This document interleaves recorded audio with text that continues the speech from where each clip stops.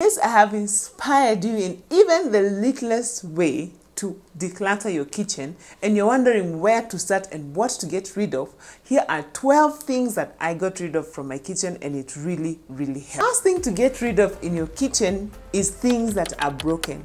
Like this cup. This mug I was showing you, its, its edges are ripped. So now if someone drinks with these, they're really more likely to get their mouths cut or their lips or something. So this is one of the things to get rid of if anything, whatever is broken in your kitchen, you don't need that. You have enough. Look at this. Just look at this. This is a container, yes, but look. Why am I keeping this? Why have I been keeping this? I have no clue. And look at this one. Okay, I have really loved this cooking stick. It's so great for rice and anything, but it's broken and I have really been just using it like this. And why? I have more than enough serving spoons. So these are the things to get rid of. Things that are broken is the first thing that you get rid of in your kitchen. Number two is things that are in excess. Like I said, these milk bottles, we had 12. We only use four in any given week. And even if I want to keep extra, I only kept two extra, so I kept six. So why was I keeping 12? So anything that is in excess, know what you need and then get rid of the rest. Bless someone else. The third thing is things that do not match. Let me show you. See, I have these plates. They're very nice plates, but they're only two. I have a family of six, plus our house help, we are seven. So these ones, they're not serving us. And I had quite a number. Look at this one. This is just one plate.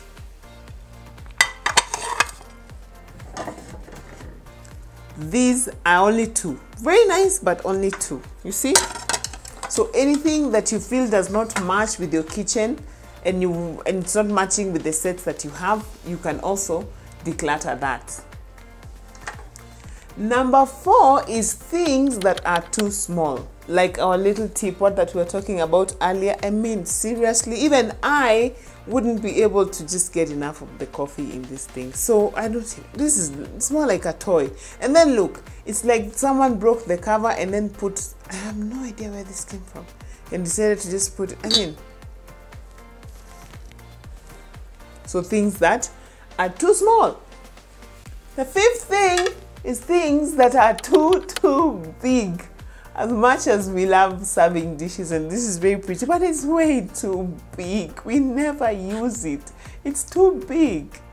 Number six is things that you have not used in the last six months in your kitchen. Those are the things to get rid of.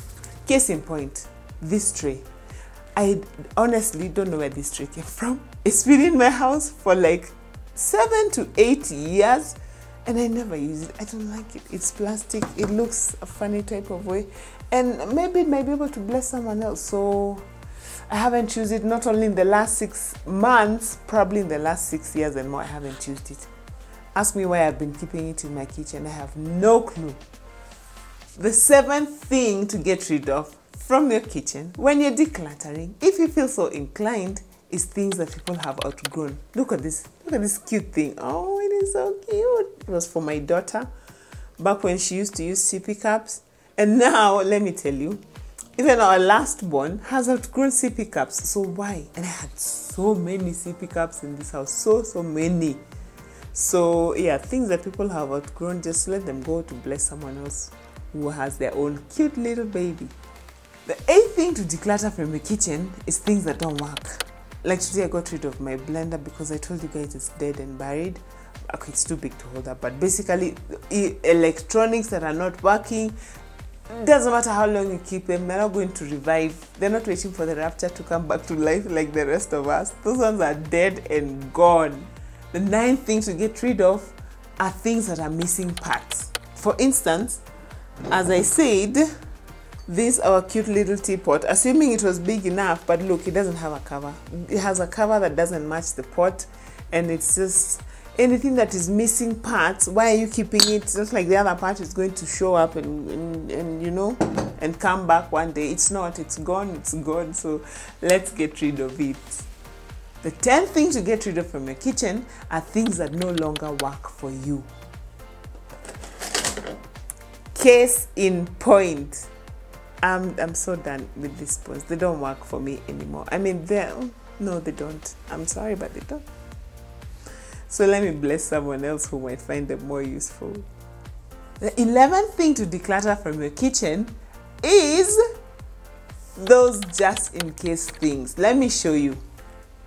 I love glass containers and mason jars. All right? These are these are cute. I think they're cool.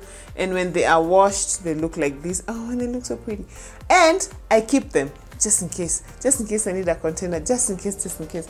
But i end up keeping so many and that just in case it never really gets here. So why am i keeping them? Let me just get rid of them. They just they, they let them mm, go bless someone else you know And if you are enjoying this video, please don't forget to give it a thumbs up because it lets YouTube know that this is the kind of content that you like and YouTube recommends it to other people. And then it helps our channel to grow. And if you haven't subscribed or hit the notification bell, kindly do so. The 12th thing to get rid of from your kitchen when you decide to declutter is anything that you feel is unsafe. All right, let me show you. Case in point, Teflon. Yes, let me tell you, I have such a love hate relationship with these pans and pots. I bought a whole set like I think eight years ago. It was really expensive, and back then non-stick was all the rage. Until someone somewhere came and discovered that oh, unfortunately Teflon is cancerous, and oh my gosh! And now I had gotten rid of all my other pots because hello, I was upgrading, and now what would I do? So honestly, I have been using them so I've been using them, but very reluctantly. Until recently, I just decided to buy myself a ceramic ceramic what? A ceramic pan and i'm getting rid i'm getting rid of all this. I haven't managed to replace my cooking pots just the pans but I'm really working hard. I'm really working hard to get rid of all of them as I pray for the Lord to keep us all safe because oh my gosh. So, yeah, anything that you feel might be unsafe, just get rid of it or plan to replace it.